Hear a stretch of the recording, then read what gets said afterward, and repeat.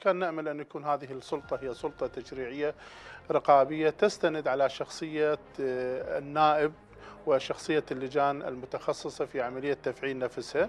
وبالتالي قد يكون هنالك فراغ كبير في عملية مستوى آه، الإصدارات من القوانين والتشريعات. التقصير في ملفات عديدة كان موجودا محاضرا على اعتبار أن العرف المبني آه، في البرلمان هو وفق التوافق.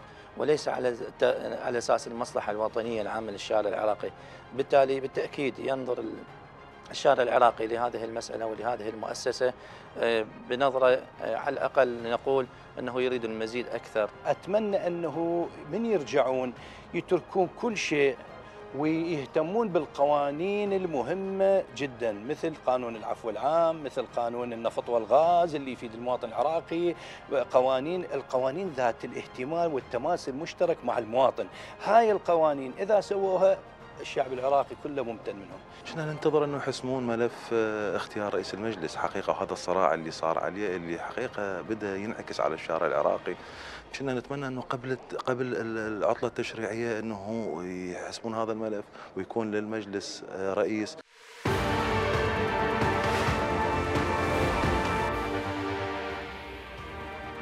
حياكم الله. وانتهى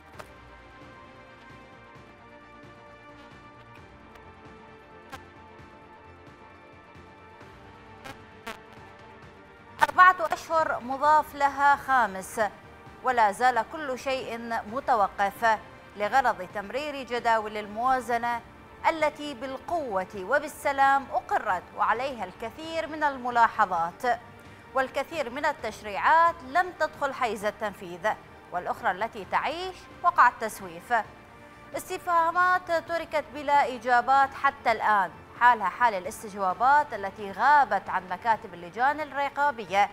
وتحول الأعضاء من المتابعة والتشخيص إلى التأييد والتصفيق فهل هذا هو دور ممثلي الشعب؟ وماذا ستقولون للمواطن؟ بماذا ستقنعوه إذا كنتم عنه غافلين وبرحلة البحث عن المصالح منشغلين؟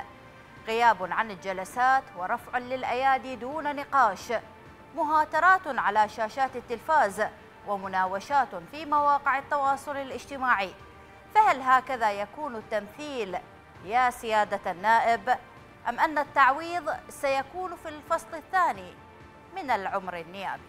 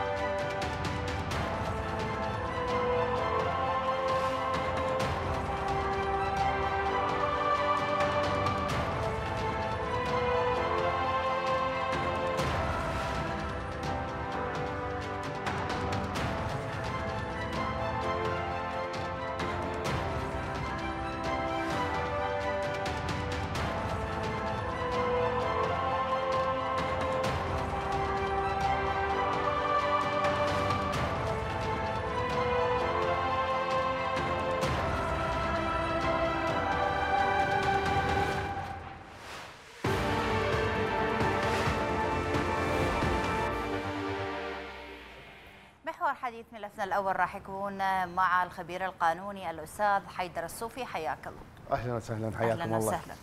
أستاذ حيدر بصراحة شو نشوف العمل البرلماني خلال الفترة الماضية؟ بسم الله الرحمن الرحيم. في البدء تحياتي لكم ولمشاهديكم.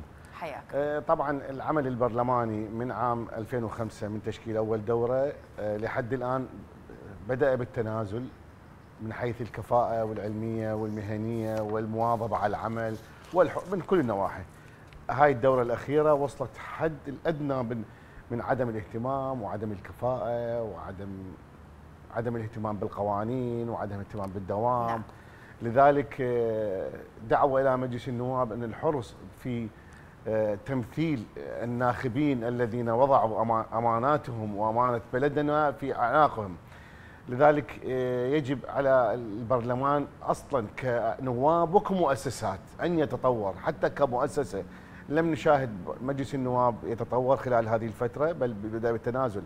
لا سيما المؤشرات والمخرجات من آه، واضحة من خلال عمل مجلس النواب.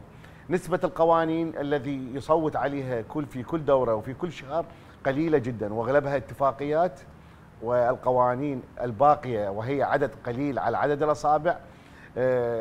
لا تشكل أهمية لمصلحة البلد ولإدارة البلد ورفعة البلد ولتطوير البلد، إضافة لأن آه، مؤشر على أن 90% من القوانين القليلة التي يصدرها مجلس النواب والتي تحال مشاريع تحال هي من الحكومة، يعني الحكومة تساهم بدور كبير في طيب. إنضاج المشاريع لكن لكن مجلس النواب بدأ يعد مشاريع مقترحات قوانين. أردت أتحدث وياك قانونيا. إذا مجلس النواب ما عدل القوانين ولم يكن ذا مسؤولية تجاه المواطن قانونيا شنو ممكن المواطن يقدم شكوى على البرلمان حتى يقدم يعني جهد أكثر؟ حتى أفهم هذه النقطة قانونيا نعم بسبب. جدا جدا سؤال ذكي هذا. طبعا النظام الديمقراطي إحنا نظام ديمقراطي نعم. ومطبقيه طبعا بهذه الطريقة 100% النظام الديمقراطي ما بيه عقوبة مباشرة على النائب عقوبة مادية مثلا السجن الحبس الغرامة. لا العقوبات موضوعة آه، من من الشعب ومن آه، عوامل الضغط بالبلد على البرلمان عوامل معنوية. يعني آه، ما يسال مجلس النواب عما يفعل لكن هناك يجب أن يكون هناك ضغط إعلامي ضغط ضغط أحزاب الأحزاب غير مشتركة بالحكم بالبرلمان أن تكون هناك ضغط. وأن يكون الدور الأول وفق النظام الديمقراطي كما معمول معمول به في أوروبا وأمريكا المطورة ديمقراطيا. آه، يجب أن تكون العقوبة الأولى هي عقوبة الناخب. يعني الناخب ما ينتخب الكتلة أو القائمة أو المرشح الذي قصر أو لا يتمتع بكفاءة ولا يتبع حرص أو نزاهة. لكن حتى ما اللي يروح لكن حتى اللي يروح ينتخب هو جماعة فلان وفلان. نعم نعم. يعني إحنا عند أغلبية صامتة لا تنسى هذا نعم الموضوع. إيه وهذول مأيسين من العملية السياسية جملة وتفصيل. نعم لذلك آه، يؤشر على النظام الديمقراطي عندنا بالتمثيل البرلماني يؤشر بالفشل. شلون؟ شوف بأوروبا ليش النظام الديمقراطي ناجح؟ من يترشح من يترشح آه، حزب إلى البرلمان أو يترشح الحزب من عنده وزير. يحرص كل الحرص سواء من كان من هذه الكتلة في السلطة التنفيذية وزير وكيل وزير مدير عام مستشار ويحرص كل الحرص النائب في البرلمان من هذه الكتلة على على أن يقدم كل ما يمكن من كفاءة حتى شنو؟ حتى يقنع الناخب بانتخابه في الدورة الجاية. نعم. أو يسكت عنه ما ما طيب. ما يسوي عوامل ضغط بالإعلام أما لدينا إحنا الكتل تدخل البرلمان والنواب يدخلون آه، ويقضون فترة البرلمان آه، فترة مريحة. لا لا يهتمون للعمل البرلماني. ليش؟ لأن عندهم آه، عندهم شريحة تنتخبهم وهم ضامنين الفوز للمرة القادمة. مو مثل النائب أو أو عضو الحكومة في البرلمان الأوروبي الذي آه، يستميت في يسعى آه، للحصول حتى على اقناع الشعب في انتخابه. أنا اريد أسألك منو يتحمل اليوم المسؤولية؟ انتهى الفصل التشريعي الأول من عمر البرلمان ولم تقدم قوانين مهمة، لم يعني تطرح على الرأي العام. أنا يعني منو يتحمل هذه المسؤولية؟ أنا برأيي المسؤولية يتحملها يتحملها الناخب الشعب. الناخب اللي ينتخب ناس غير أكفاء غير نزيهين وحريصين وغير حريصين. حيدر هم اكو أكو مرشحين. براس الشعب. نعم. خلينا نكون منطقيين. يعني النائب في برنامج الانتخابي يحلف ويقسم وأنا راح أقدم وأنا راح أقدم. بالتالي البعض لا اتحدث عن الكل يقضيها بالكافتيريا مال البرلمان.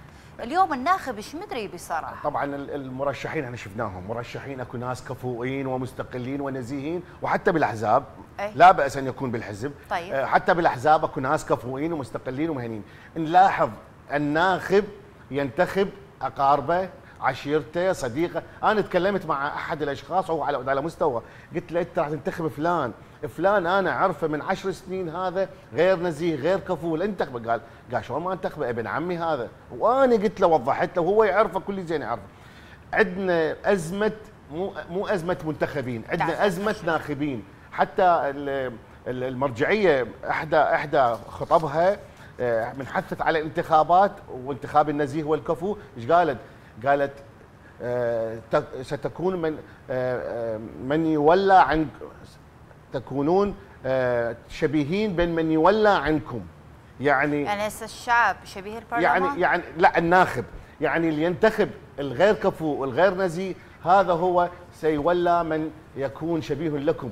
لأن الناخب أزمة الناخبين إحنا عندنا مدى ينتخب آه، جيد. طيب. هذا هم مرتبط بعدم مسؤولية الناخب. ليش؟ النظام الانتخابي نظام القائمة نظام النظام عندنا نظام العشائر نظام إحنا عندنا بدا بدأ التخندق الطائفي من بداية وبدأ التخندق الحزبي هذا من كتلة بس وهذا من المفروض كتلة هذه انتهت. اليوم أكو وعي لدى الناخب بق- أستاذ إيه. حيدر. اسمح لي آه، فقط أن أرحب بالنائب السابق الأستاذ حسن فدعم. حياك الله أستاذ حياكم حسن. الله السلام عليكم. أهلا وسهلا. وعليكم السلام. ورحمة الله.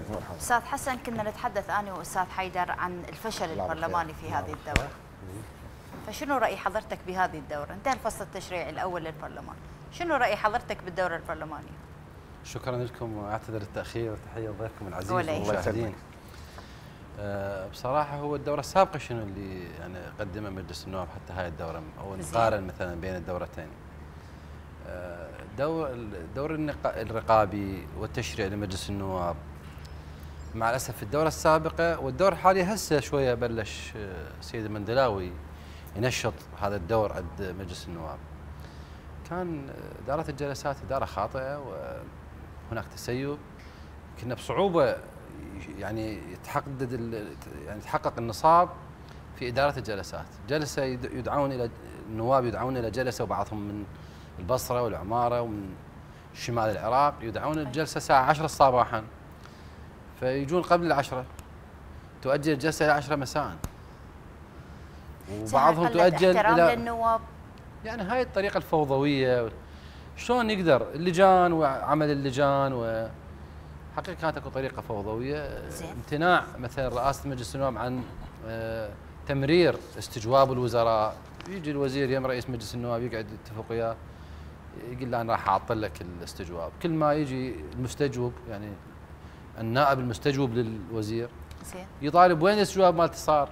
على الجلسة الجاية وعلى الجلسة الجاية ويماطلون ويسيفون الموضوع. من يتحمل المسؤولية؟ اليوم المواطن ناقم على هاي الوضعية. طبعا رئاسة مجلس النواب هي تتحمل المسؤولية الأولى في انضباط الجلسات وانضباط إدارة الجلسات أي. وانضباط عمل ال- اللجان. بالنظام الداخلي نائب رئيس مجلس النواب هو اللي يشرف على اللجان. في زمن السيد حسين الكعبي كان هناك تنشيط لعمل لجان نعم. مجلس النواب لكن بشكل عام ما كانت رئاسة مجلس النواب ما كانت حريصة على تنظيم أو تنشيط عمل مجلس النواب. طبعا الآن شفنا السيد المندلاوي آه، عمل بشكل جيد ونشط المجلس لكن ما وشفنا حركة. تحقق شيء؟ يعني عدة قوانين مهمة قانون النفط والغاز العفو العام تعديل سلم رواتب الموظفين ما شفناها نحاضر لا شرعت قوانين هواي مهمة كل شوي قوانين مهمة. شا- إحنا ما نريد أنا بداية الحديث أنا انتقدت. نعم. لكن ما نقول ماكو أنا ما أحب هذا المنطق اللي سوونا كل شيء ماكو هذا هذا الحكي مو صحيح. نقول. هذا صار هذا بعد ما صار.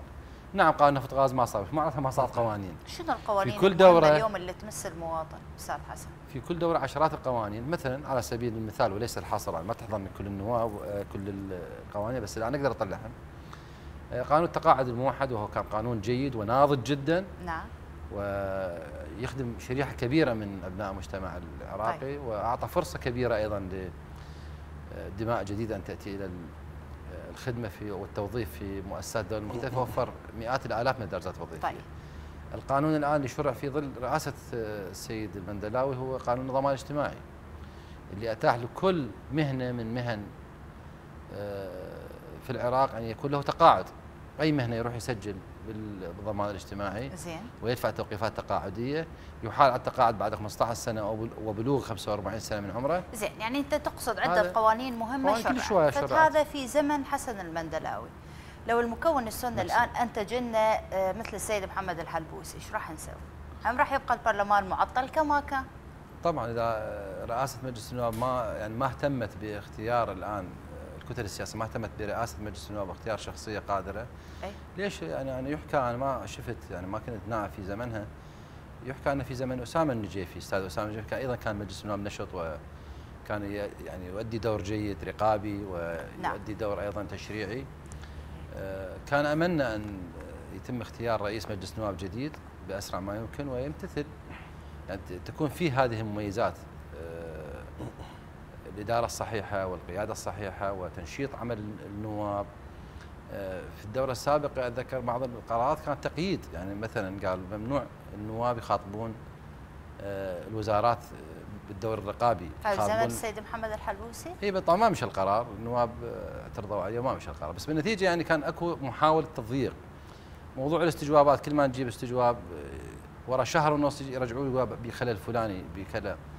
فأكو كان مماطلة نعم. في موضوع استجواب ال- اذا الفاسدين اذا أستاذ حيدر آه، البرلمان له ما له عليه ما عليه. نعم. يعني مو بالطريقة السوداوية أيضا قدم قوانين جيدة أيضا يحاول لكن أكو مشاكل وتركة ثقيلة من رئاسة مجلس النواب سابقا.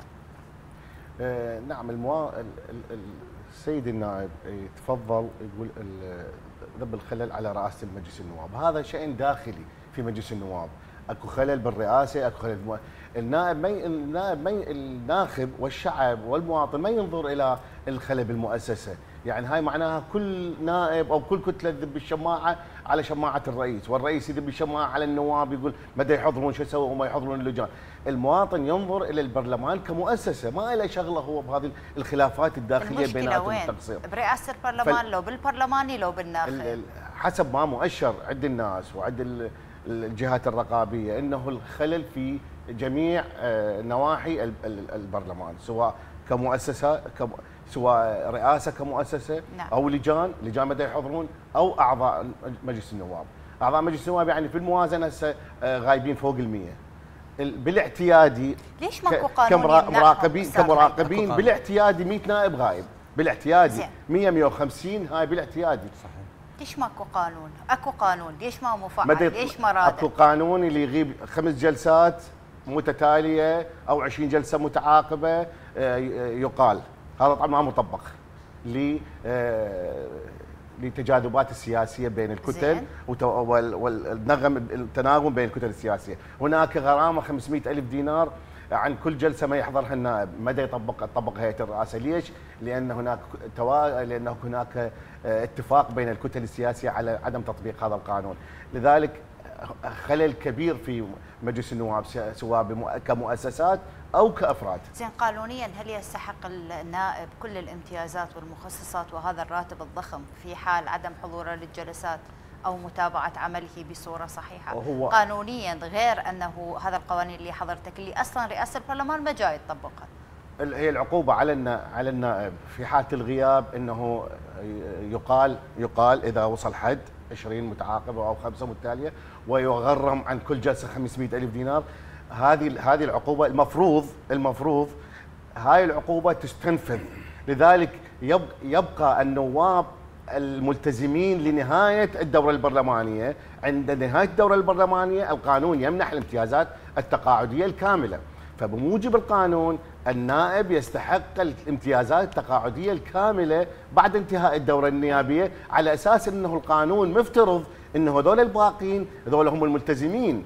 باعتبار يفترض القانون شنو؟ إنه المخلين بالإداء البرلماني باعتبار ان قالوا أو تغرموا أو أو تعاقبوا فالعقوبة في حينها عقوبة وقتية في حينها سواء بالغرامة أو بالإقالة للقانون يفترض إنه هذا القانون قانون امتيازات وحضور وغياب مجلس النواب قانون الامتيازات يفترض إن قانون الحضور مطبق 100% لذلك قانون الامتيازات يمنح النائب عند اكمال الدورة النيابية كامل الامتيازات والحقوق باعتبار آه، بقوا الصفوة اللي يستحقون نعم. الامتيازات. إذا أستاذ حسن يعني ما جاي يطبق القانون على النائب الغائب؟ وعدة عدة قصص سمعناها في هسه في في زمن السيد محمد الحلبوسي. عن تهوات عن رشاوي دفعات اليوم المواطن باقي مشوش يقول لك البرلمان إيش قدم؟ كل هذه القصص داخل البرلمان؟ نعم آه، كلام السيد الضيف صحيح إنه المواطن شنو علاقته بهاي التفاصيل؟ بالفعل شنو علاقة المواطن؟ المواطن انتخب. وأدى الدور اللي عليه يبقى الدور على مجلس النواب أن يؤدي الدور اللي عليه وأكو تقصير في الأداء. بس آه، مثلا لما نقول حضور الغياب 150 غايبين هذا يعني أن آه، 170 أو 175 حاضرين.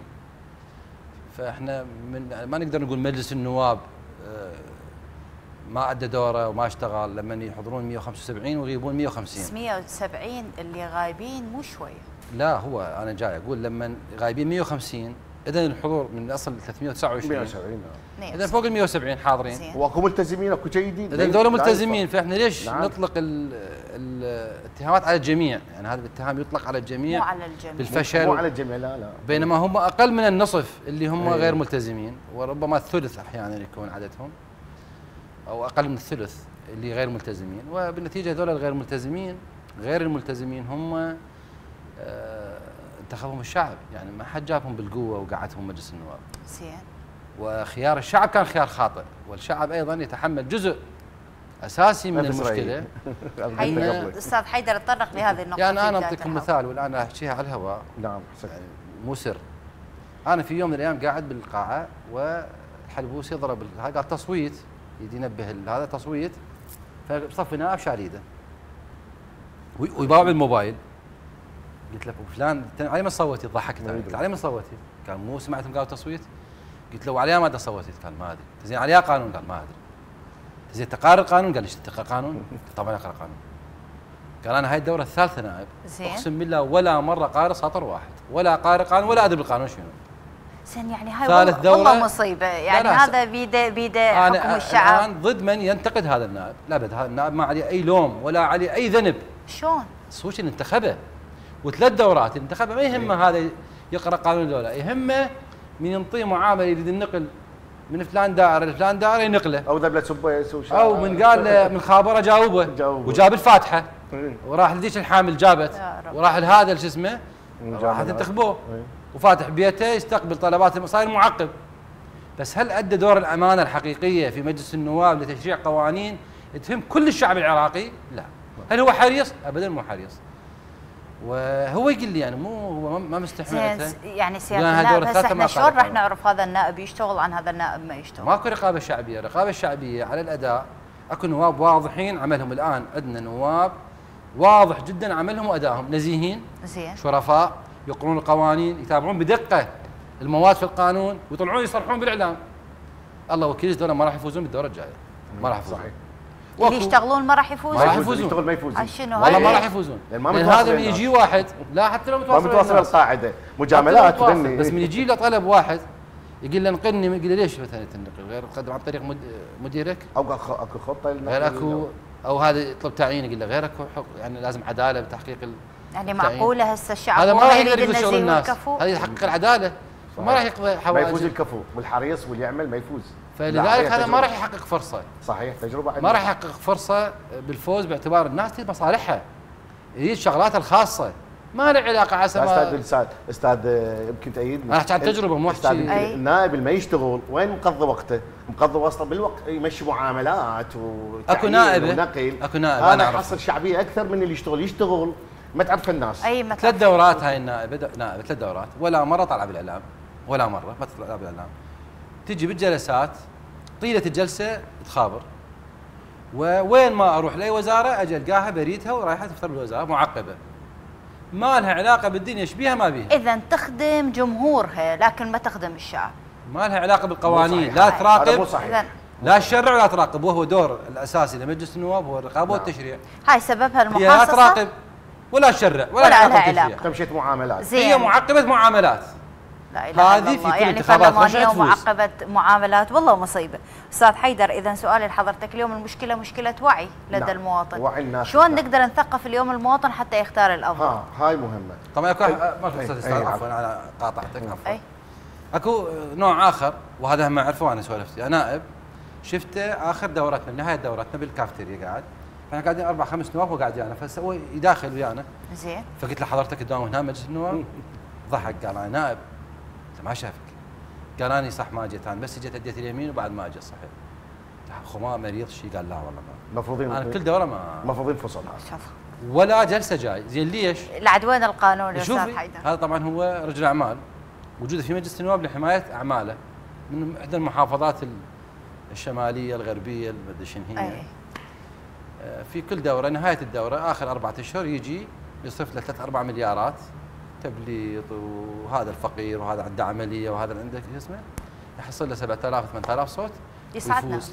يصرف له مليارين ثلاثة أربع مليارات هو خلال الدورة جامع له من المشاريع الاستثمارية جامع في 20 30 مليار فشنو المليارين ثلاثة؟ طبعا وضع نقطة اذا ملاحظة. ماكو هذا لا قانون ياخذ حوائج. ناس ولا رقم إيه، تليفون إيه. عندهم إيه. ولا يندلونه هذا بكل انتخابات يفوز بالفلوس طبعا هي الأساس. شنو الأساس مهمة الناخب النائب النائب وفق الدستور كعمل برلماني كمهام برلماني تشريع القوانين والرقابة على الاداء الحكومة يعني خاف الحكومة تقصر. غير ذني إذا ينشغل به النائب يعني ما مؤدي عمله ما ادي وظيفته. كثير من النائبين النواب هسه مثل ما تفضل الأستاذ لا يحضر لتشريع القوانين طبعا ما يحضر البرلمان لا هو يساهم بتشريع القوانين. ولا هو يساهم برقابة على اداء الحكومة. أغلب وقته 24 ساعة وين؟ بالوزارات وبالدوائر يعقب معاملات. هذا مو عمله. هذا راح يخدم معناها راح يخدم ألف ألفين ما راح يخدم العراق ما راح يخدم الشعب. عمله التشريع والرقابة. غير هذا العمل يعني معناها إنه النائب مقصر 100% لذلك النواب الجيدين وتحية لهم هناك نواب جيدين جدا ومن ضمن الأغلبية اللي تحضر وتواظب آه، دا يحضرون ودا مهامهم وعملهم. ما ينتخبون ما ينتخبون. ليش؟ لأنه ما يدون معاملات نقل هذا ونقل فلان هذا ونقل أو أو تبييض هذا الشارع. مو مسألته هو مو شغله. هو شغله هو شغله تشريع القوانين والرقابة على ذلك. اذا القانون ليش ما يطبق من رئاسة البرلمان؟ هاي بعد رئاسة البرلمان. بالنسبة للآن لا راقبة ال- زين شنو الفقرة القانونية على رئاسة البرلمان إذ لم تطبق أنا القانون؟ راقبت ذولا اللي اللي قال عليهم اللي تفضل عليهم الأستاذ النواب اللي ما يداومون غيابات عليهم. غيابات يسجل غيابات لأنه خاصة أيام الكرت يحطون الكرت دا يمنحون جوائز مرضية دا يمنحون جوائز مرضية من من الجلس من رئاسة البرلمان أنا أنا اللي لاحظته بجلسات الر- الرئاسات السابقة أما هاي الرئاسة هاي مو. برلمان هاي مدرسة أستاذ حيدر إي نعم زين سؤالي شنو العقوبات القانونية على رئاسة البرلمان إذ لم تطرح أو تنفذ القانون؟ آه، طبعا المفروض المفروض على رئاسة البرلمان هنا ما طبق القانون قانون العقوبات ينص على إنه في حالة وجود موظف أو مسؤول مهما كان درجته ما يطبق القانون يحال لعقوبة لمحكمة الجنح عقوبتها تصل إلى أربع سنوات سجن. لكن هذا ما حيطبقه ليش؟ لأنه المفروض المفروض إحنا هنا يتحرك الادعاء العام. الادعاء العام المفروض. المفروض الادعاء العام مثل ما بمصر فعال الادعاء العام يحيل أي وزير يرتكب خلل يحيل أي نائب هنا ما مفحنا الادعاء العام. ليش؟ أيضا الادعاء العام شو يقول؟ يقول القانون شرع مجلس النواب جمد صلاحياتي. أعطى الصلاحيات للمفتشين وما انطانا صلاحيات. جمد صلاحيات بينما هي مهمة الادعاء العام تحريك الشكوى على كل شخص مهما على أو سفل في الدرجة في حالة عدم طيب. تطبيق القوانين. لذلك اذا أستاذ حسن ليش الادعاء العام جمد؟ هو يقدر يؤدي دور عنده قانون الآن يقدر يؤدي دور بس ما أعرف آه، دور الادعاء العام ضعيف في العراق وهناك دعاوى أصلا يطالب بها بشكل رسمي يطالب الادعاء العام بتحريك شكوى ولا يقوم بدوره كما ينبغي. وإذا كانت الذريعة في سابق الأمر أن هناك مفتشين عموميين في الوزارات هم يؤدون هذه الوظيفة فتم آه، إنهاء عمل المفتشين والآن ماكو مفتشين بالوزارات. فليش ما بعد ذهاب المفتشين ليش ما استؤنف عمل ال- اذا إهمال؟ لو صفقات لا أنا أعتقد أكو تقصير أكو تقصير في عمل الادعاء العام زين إذا أكو تقصير في عمله ماكو جهة حاسبة تقول له يا تعال الادعاء العام أنت ليش ما تشتغل بشكل صحيح؟ الادعاء العام هو إحدى مؤسسات السلطة ال- القضائية ولا يحق للسلطتين وفق الدستور مبدأ الفصل بين السلطات التدخل في عمل السلطتين الآخرين اذا أستاذ حيدر منو منو راح يحرك الادعاء العام إذ لم يقم بواجبه تجاه النواب وتجاه هذه القضايا الكبيرة؟ ال- ال- الوضع بالعراق هو هذا هذا الوضع بالعراق يعني شنو على هذا؟ عدم مشكلتنا تشريعية، عدم؟ الق- عندنا قوانين لا عندنا قوانين عندنا منظومة قوانين متكاملة يعني أي. إذا نريد نعمل ونصير مثل أوروبا نقدر نوصل بهاي المرحلة تطبيق القوانين يعني من إجوا الأمريكان وقعدنا وياهم ورادوا يعدلون القوانين وقلنا لهم لا هاي القوانين هيجي تفاجئوا تفاجئوا على مهنية ورصانه القوانين اللي عندنا. قالوا هاي قوانينكم تضاهد قوانين الأوروبية الأوروبية والأمريكية. بالعكس رادوا يخربوها وما قبلنا إحنا. لذلك عندنا قوانين كاملة لكن تطبيق القوانين عمل البلد كمؤسسات ما دا يعمل كمؤسسات. هواي أمور هواي هو أمور. من ضمنها طبعاً. الحزبيات من ضمنها طبعا. مؤثرات الدول وين الخلل؟ وين هواي. الخلل؟ لماذا لا يفعل القانون في العراق؟ هواي هواي أمور هواي أمور. تدخلات الحزبية ال- آه، كل جهة من حزب التدخلات الدول الجوار هواي أمور. وجود ال- ال- المال السائب آه، هواي أمور. وجود. الفساد وجود الفوضى. فصل التشريع الثاني أستاذ حسن راح يكون جيد راح يقدم شيء للمواطن؟ إذا بقى السيد المندلاوي على هذه الهمة أكيد يكون أداء جيد. وإذا تم اختيار رئيس مجلس نواب جديد وهو ما ينبغي أن يكون بالتأكيد راح يكون جيد. أكو قوانين كثيرة تنتظر مجلس النواب نعم. ومجلس متهيئ لها. طبعا يوم أمس كان هناك دور أساسي وإيجابي في تمرير قانون أو جداول الموازنة آه، للسنتين المتبقيتين آه، وهذا كان إنجاز كبير آه، ما صار به لغط ما صار به مشاكل. نعم هناك ملاحظات على آه، هل أنصف الجداول المحافظات الجنوبية لو لا؟ نعم هناك ملاحظات على الجداول لكن آه، أنا في تقديري ماكو إنصاف آه، ما كان هناك إنصاف ماكو إنصاف؟ نعم ما كان اكو إنصاف للمحافظات. وعد السيد رئيس الوزراء بالمبالغ المخصصة آه، لتنشيط أو إعادة المشاريع المتلكئة. أن سيدعم المحافظات وسوف يمد يعني يزود المحافظات بالموازنات إضافية. نعم. لأن أكو مساحة جيدة أعطيت لرئيس الوزراء في قانون الموازنة قال أنا عندي القدرة أن أزود المحافظات وما راح تكون هناك ما راح يكون هناك أي تقصير تجاه المحافظات بشكل. عادل شكرا جزيلا النائب السابق حسن فدعم نورتنا في حصاد اليوم. شكرا الخبير القانوني الأستاذ حيدر الصوفي نورتوا في حصاد اليوم. شكرا لكما. إذا ملفنا الثاني راح يكون عن حالات النصب الإلكتروني على العراقيين بواسطة شركات وأرقام وهمية. عبر تقديم الوظائف والعروض والجوائز والغاية منها سرقة أموال العراقيين. راح نفتحها وياكم بتقرير الزميل شيبان سامي لنتابع.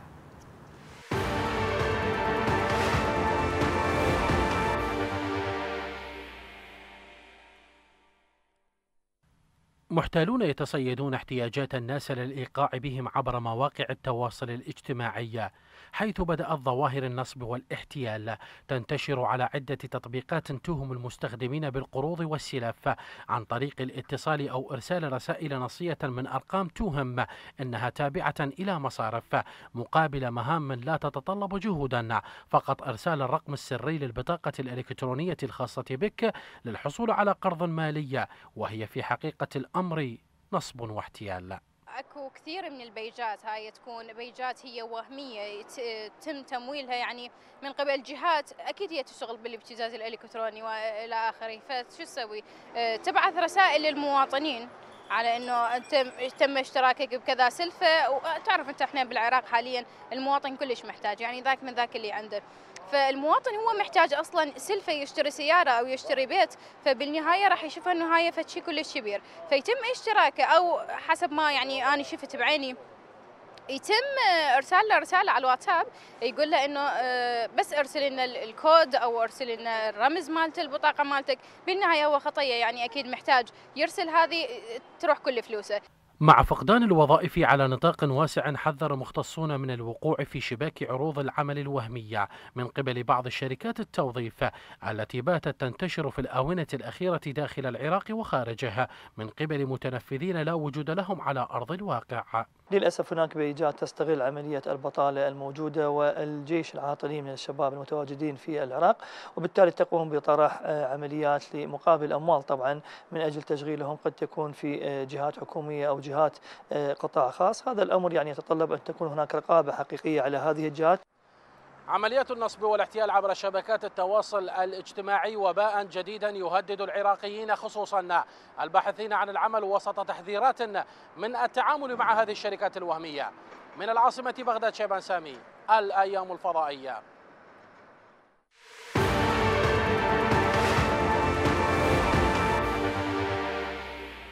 محور الحديث في ملفنا الثاني راح يكون مع رئيس مجلس المسار الرقمي العراقي الدكتور صفد الشمري. حياك الله دكتور. حياك الله ست فرح وحيا جمهورك. أهلا وسهلا. أه، دكتور برامج التواصل صارت بلوى. كل الطرق تحاول تأخذ الفلوس من المواطن العراقي. هسه عن طريق مرة جوائز عروض وظائف وهمية وإلى آخره. شنو اللي جاي يصير حضرتك؟ السلام عليكم ورحمة الله وبركاته حياكم الله. وحيا جمهوركم الكريم. وحقيقة هذا موضوع غاية في الأهمية نعم. يعني حينما نتحدث عن أي قضية ذات علاقة بالجريمة الإلكترونية قد ترتبط بشريحة معينة لكن موضوعات مثل الابتزاز الإلكتروني مثل نصب والاحتيال الرقمي الإلكتروني هذه يمكن كل مواطن كل مستخدم يمكن يتعرض إلى مثل هكذا حاله في أي لحظة صحيح وأعتقد أنه جنابك وكل كل الأخوة المشاهدين وحتى الحاضرين في هذا الاستديو كلكم يمكن تعرضتم في في حالات معينة إلى محاولات للنصب والاحتيال صحيح. فبالتالي هذا يمكن أن يمس كل مستخدم عراقي لكن بشكل عام في ظل عدم وجود تشريعات تنظم الجريمة الإلكترونية في العراق آه هذا كله أسهم في زيادة مثل هكذا حالات وخصوصا أن اليوم تستهدف شرائح كبار السن بالدرجة الأساس فيما يتعلق مثلا خصوصا المتقاعدين حينما يحصلون على قواعد بيانات تتعلق مثلا أنت اسمك الفلاني وهذا رصيدك وفلان وأنت فلان دائرة وفلان كذا فبالتالي يحاول أن يقنع هذا بعدين يتصل به ويحصل على تليفونه ويحاول يتصل به وبالتالي يطلب بعد التواصل معه مثلا ممكن إنه يقول له إنه ممكن راح تجيك مكافأة تجيك جائزة يجيك قرض مقابل كود إنه أنت راح تبعث لي إياه. وهذا الكود حينما يرسل لي اياه تشوف إنه حول حسابه أو حول كل ما موجود في بطاقته الإلكترونية إلى من؟ إلى الحساب الشخص ال- ال- ال- الوهمي أو هذا الشخص المحتال. المشكلة منو الكبرى يراقب؟ منو يراقب؟ هسه حضرتك قلت ماكو تشريعات تتعلق بالجرائم الإلكترونية، من المفروض يراقب؟ والله هي المفروض أن تكون هناك جهات معنية بمواجهة الجريمة الإلكترونية، يعني اليوم إحنا إجراءنا مو وقائي، يعني اليوم إجراءنا راح يكون علاج إنجاز التعبير، يعني حينما يتعرض الشخص إلى النصب والاحتيال فبالتالي بعدها يتجه إلى مركز شرطه، يتجه إلى المصرف اللي فيه حسابه وبالتالي يحاول يعالج هذا الموضوع، لكن هل توجد هناك إجراءات احترازية؟ للأسف لا توجد مثل هكذا إجراءات في العراق، ليش؟ لأن مثل ما قلنا جنابك إنه لا توجد مؤسسات بالعراق تنظم هذا المجال، هذا واحد، اثنين لا توجد تشريعات تلزم المؤسسات العراقية في مواجهة هذا هذا الموضوع. هناك موضوع غاية في الأهمية يتعلق بالنصب والاحتيال، يعني معظم اللي يحاولون مثلا محتاج قرض معين، محتاج سلفة معينة، فبالتالي شو يسوي؟ يقدم على الشركات ال- الوهمية اللي موجودة على وسائل التواصل الاجتماعي ويقول كلش كلش شنو اللي يصير؟ اللي يصير إنه ممكن إنه بعد يعني إذا كان هذا الشخص محتال إنه قد أخسر راتب، راتب مثلا 500 ألف دينار بالنسبة للمتقاعد فمو مشكلة اعتبره ضحيه إذا ما حصلت ال 5 ملايين أو ال 10 ملايين دينار. لكن المشكلة يعني هو اللي قدام خال في باله إنه هذه يمكن ضحية فمو. مشكلة إذا وبالتالي طيب. راح يغير لكن المشكلة هنا إن ال- ال- القضية لا تقف عند ال 500 ألف دينار، المشكلة إنه هذا الشخص يعني أنا حينما أتعرض إلى عملية مثلا بطاقتي استخدمها شخص آخر بهذه الطريقة، حينما أروح المصرف الرافدين، مصرف الرشيد لأي جهة أني أصدرت منها هذا البطاقة، أول شيء راح يحيلوني إلى وحدة غسيل الأموال، لأنه ليش؟ لأنه راح يشوفون البطاقة مالتي من هالفترة هالفتره، ما هو نشاطه، فربما قد استخدمت بطاقتي بعد أن احتاز أو أو تحكم بمجرياتها أي. شخص آخر في موضوع غسيل الأموال، وهذا في هذه الحالة قد أتعرض أنا أو أتهم بجريمة غسيل الأموال، فلذلك أعتقد تصل عقوبتها دكتور؟ يعني غسيل الأموال توصل إلى 15 سنة تقريبا. فبالتالي هنا المشكلة شنو؟ المشكلة إنه أنا المفروض أن أفهم الجمهور أفهم المستخدم إنه القضية ما تقف إنه عند عند راتبك يروح ال 500 و600 ألف وتروح تقول فدوة. تتورط بجريمه المشكلة قد أكبر. جريمة كبرى. فبالتالي المفروض الوعي يصير طيب. يعني المفروض أجهزة الدولة أن تثقف الناس إنه أنت لا تقف حدود النصب والاحتيال انك قد تخسر زين 500 هي ألف الدولة دينار. وين عن هذه الشركات الوهمية؟ يعني هسه حضرتك تعرف أكو روابط متداولة عبر الواتساب. اشترك واربح جائزة، شنو خطورتها هذه؟ هذه ما يطلق عليه بالروابط الانتحالية، هذه الروابط الانتحالية اللي بدأت تستخدم بشكل كبير آه، وخصوصا يعني مثلا موضوعة النخب، النخب من توصل مثلا أرقام تليفونات؟ توصل من خلال الجروبات اللي تشارك بها، اليوم هذه الجروبات اللي تشارك بها خطيرة وخصوصا على واتساب لأنه تليفوني متاح، فبالتالي بعد إنه تتم متابعة هذه الجروبات من قبل شخصيات انتحالية معينة، فبالتالي قد وخصوصا الجروبات اللي بها شخصيات غير عراقية، يعني مثلا أكو شخصيات عربية وشخصيات شخصيات من خارج العراق، فبالتالي ي- بعد أن يكتشف مثلا يشوف نشاط دكتور صفد يسوي عليه سيرش يأخذ منه بعض التفاصيل والمعلومات فيراسله حتى يوحي له بالثقة إنه أنت فلان وأنت كذا وكذا نشاطك. فبالتالي قد يقع ضحية هذا هذا هذا هذا الموضوع. جانب آخر ما يتعلق مثلا حتى موضوعه هناك ما يطلق عليه مثلا بال- بال- بال- بالشعوذة الإلكترونية. يعني شعوذة؟ الشعوذة الإلكترونية؟ يعني مثلا مثلا أنه يا فلان ابن فلان يعني أنا المتحدث أمامك هي وصلتني مثل هكذا رسالة أنا فلان أخيك فلان من من من, من الصومال وأنت متعرض إلى سحر من أقرب الناس إليك كذا وكذا وكذا وبالتالي إنه يمكنك أن تحادثني وانه أفك عنك هذا السحر وأنا أنا مكلف بشكل رباني وهذه التفاصيل ويعطيك بعض التفاصيل التي تتعلق بعملك بكذا حتى يوحي لك إنه هو إلهام رباني حتى يتعرف عليك فبالتالي نشوف إنه قد مثلا بعض الشخصيات إنه قد تتعاطى وتتعامل مع هذا الاتجاه وهذا ما قد يقعها ضحية في هذا الاتجاه. زين بحسب شركة Group-IB أكثر من 2400 وظيفة وهمية. يعني هذه للمواطنين والمواطنين جاي يقدمون عليها وكلهم ثقة وكلهم إيمان بهذه الشركة لكن هي بالحقيقة الوظائف كلها وهمية. يعني شنو خطورة هذه الخطوة؟ ال- المشكلة هذه الوظائف الرقمية ال- ال- العفو الوهمية الرقمية الوهمية إن جاز التعبير. يعني إحنا نسأل لماذا جرى الإقبال عليها من قبل ال- الناس من قبل الشباب من قبل الفتيات من قبل الشابات؟ هو نتيجة عدم وجود فرص عمل. فبالتالي خلاني مثلا أو خلى هذا الشخص يتجه إلى هذا الموضوع. وبالتالي قد يكون عرضة ل- للتحايل عرضة حتى للابتزاز. وسمعنا كثير من القصص اللي صارت إنه مثلا آه، شخص أو أو شخصية مثلا إنه ذهبت إلى مقابلة وإذا وجدت نفسها ضحية قد تكون إلى إلى إلى, إلى حتى جريمة هل اعتداء سمعت جنسي باعتباركم مراقبين ومتابعين؟ لا لا، سمعت يعني قصة هناك- غريبة عن عن هذا الموضوع؟ يعني هناك روايات وقصص كثيرة انتشرت عبر وسائل التواصل الاجتماعي إنه مثلا يصير مواعدتها في مكان وحينما تذهب إلى المكان تشوف هذا المكان مثلا عبارة عن مزرعة أو مكان مهجور أو عن كذا وبالتالي قد تتعرض إلى إلى إلى عملية اعتداء أو عملية تحرش في أقل تقدير. وبالتالي إحنا للأسف يعني مثلا هم مرات يقول لك مثلا هو شنو اللي دفعها إنه تكون مثلا خارجة عن مثلا عن عن مسافات الإدراك والعقل إنه قد مثلا قد يكون. هي المشكلة العوز والبطالة يعني شابة تتخرج من الجامعة أو شاب يتخرج من الجامعة ومطلوب من عنده تكون هناك وظيفة. حتى تأخر الزواج كل هذه التفاصيل أدت إلى أن تكون مثل هكذا فعاليات مثل هكذا جرائم. هذا ما يدعو إلى ضرورة أن تكون هناك هبه عراقيه فيما يتعلق تنظيم الجرائم الإلكترونية وأن تكون هناك جهات معنية في مواجهة هذا الموضوع ست فرح إذا تسمحي لي حضرتك أي يعني. مثلا مثلا اليوم كل دول المنطقة دائر مدارج هناك تطبيقات رقمية خاصة بالوزارات مثلا وزارة الداخلية الأجهزة الأمنية صحيح. حتى مباشرة أني أتعامل مع إحنا دعينا الجهات الأمنية في هذا الاتجاه ودعينا حتى هيئة الاعلام والاتصالات وكل الجهات إنه يا إخوان سووا لنا آه، تطبيق رقمي هذا التطبيق إنه يمكن يعني هي مش- الق- القضية يعني مو شرط أنا أتعرض إلى انتحال إلكتروني. يعني مثلا حتى مثلا سيارة أنت مثلا في منطقة مقطوعة بالليل وهذه السيارة عطلت وهذه السيارة حينما تعطل مثلا قد يجيك شخص منقذ. وإذا هذا الشخص المنقذ قد يكون محتالا وقد يبتزك وأنت وياك عائلة. فتضطر أنت إنه تحاول حتى تخرج من هذا الموقف صحيح. بأي طريقة كانت. ماذا لو كان هناك تطبيق رقمي؟ هذا التطبيق الرقمي مرتبط ب GPS فبالتالي هذا التطبيق الرقمي مجرد أن أسوي إشعار راح يروح إلى أقرب مركز شرطة وبالتالي يوجه لاقرب دورية إنه هذا المواطن هذا كان المستخدم؟ رد الجهات الأمنية على هذا المقترح؟ يعني هذا الموضوع طبعا هو حينما نتحدث في هذا الاتجاه يكون هناك ترحيب وهذا على أعلى المستويات يكون هناك ترحيب لكن للأسف على أرض الواقع لم يطبق مثل هكذا موضوع. يعني حينما نتحدث عن موضوع التطبيقات الرقمية يعني ست فرح إحنا يكفينا الإشارة إلى أن في جائحة كورونا اللي كل دول العالم هبت نحو التطبيقات. يعني مثلا وزارة الصحة دخلنا بالجائحة وما طلع وطلعنا من الجائحة وما سوت تطبيق رقمي واحد يخص موضوع الجائحة. فبالتالي اليوم يرادلنا؟ هبه في هذا الاتجاه. خبرات، تعمد، عدم- لازم أكو سبب يا أستاذ. عدم الدراية الكافية بأهمية التطبيقات الرقمية، يعني اليوم حينما نتحدث عن الجيل الرابع. يجوز المسؤول جايت له هذه الرسالة. مو هي هاي المشكلة. يعني حتى يعني هسه أنت دا تقول إحنا أغلب العراقيين حضرتك والكادر اللي موجود وأني كثير ما توصل هذه الرسائل. نعم. معقوله المسؤول ما وصلت له هذه الرسائل. بالتأكيد تصل مثل هكذا الرسائل وتصل تصل مثل هكذا قصص ومثل هكذا روايات وإنما حتى تصل بعض الأمور تتعلق مثلا بضحايا يعني موضوع غسيل الأموال يعني أنا قبل أيام شفت شخص آه، موظف في وزارة الإعمار.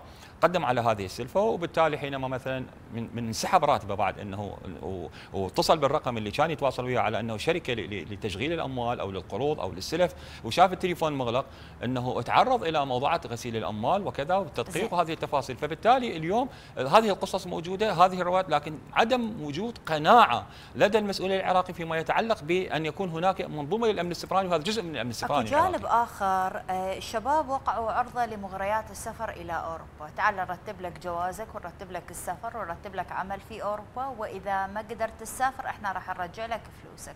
وهذا لعب على وتر آخر على عقول الشباب.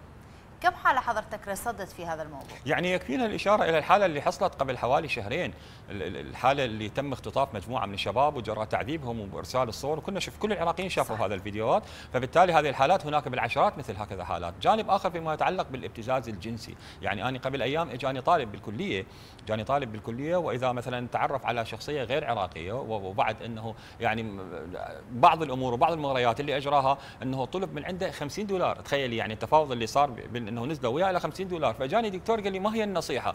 فقلت له أنا برأيي هذا ال 50 دولار أما أنه ما عنده شيء ممكن يواجهك باكر عقبة أو أنه هذا ممكن راح يخلي يرجعك فبالحالتين أنت خسران خسران. فبالتالي المفروض أنه توقف تعاملك مع هذه مع هذا الشخص اللي دراسك في كل التفاصيل وتعمل على حذره بالكامل. لأن أنت بكل الحالات خاسر. وبالتالي تم هذا الموضوع وبالفعل إجاني بعدين وقال لي دكتور أنا أشكرك جدا. تم انتهاء الموضوع بهذه الطريقة. لكن هذا لو سربت الصور لو المحادثات مو هذا مصيره ينتهي؟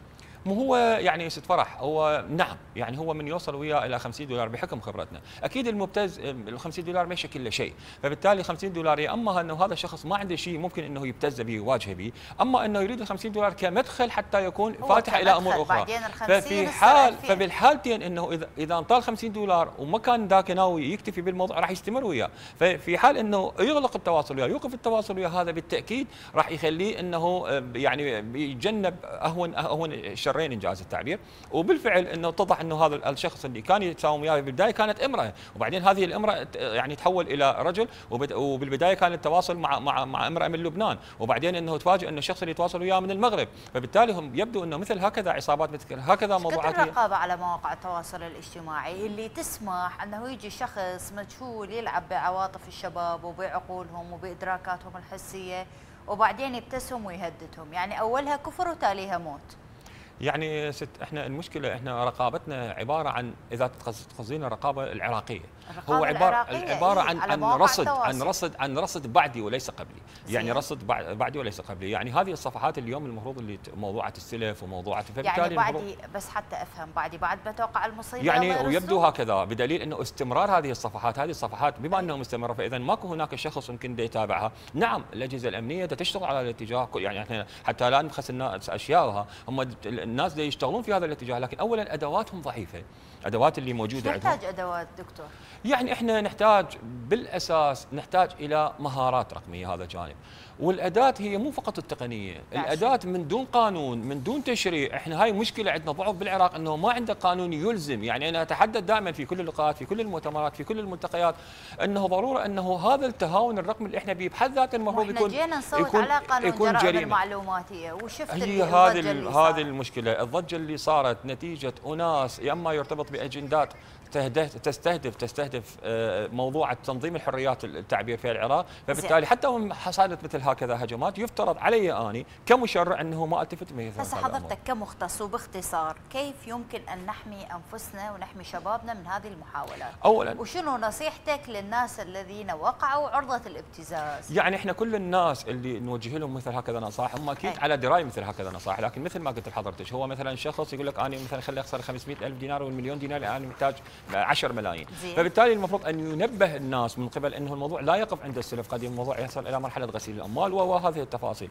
هذا جانب. جانب آخر نصيحتي إلى الأجهزة ال- ال- الأمنية أن تمارس دورها بشكل أكبر أن تتابع الصفحات الموجودة عبر وسائل التواصل الاجتماعي. يعني اليوم الصفحات وصلت إلى مرحلة يعني حتى موضوعات يعني عذرا تبادل الزوجات هذه التفاصيل وتشوفون إنه صفحات منتشرة بشكل كبير وهناك تعاملات وهناك تواصلات. كلها المفروض إنه يفترض أن تتابع وأنه يجري عملية إبلاغات. هذا جانب. هل رصدتم صفحات قذرة في مواقع التواصل يعني الاجتماعي هذه تروج الصفحات؟ بحكم فرقنا فرقنا رصدت عشرات الصفحات والمحادثات بالمكشوف إنجاز التعبير. يعني أشخاص يعرفون نفسهم نعم بأسماء وهمية وقد يستخدمون معرفات مثلا التليجرام والماسنجر حتى لا نعم. يتم التمكن منهم لكن فرقنا الرقمية رصدت عشرات مثل هكذا حالات. شكرا جزيلا رئيس مجلس المسار الرقمي العراقي الدكتور صفد الشمري نورتنا. شكرا جزيلا على كل هذه التوضيحات. إذا ختام حصادنا بموجز يلخص أبرز أخبارنا المحلية لهذا اليوم.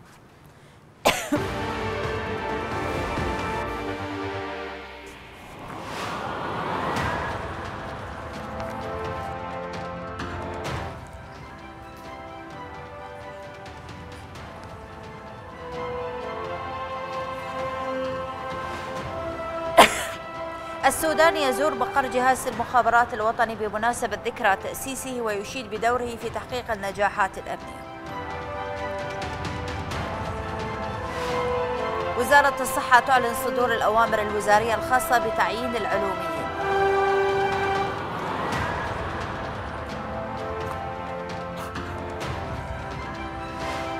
وزارة الزراعة تعلن الحد من تسريب المنتجات المهربة للأسواق المحلية.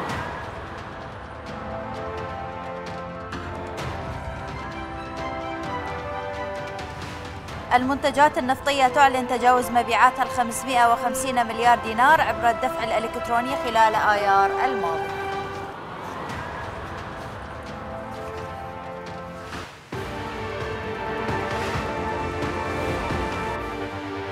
الحصاد انتهى. شكرا على كرم المتابعة وتصبحون على خير.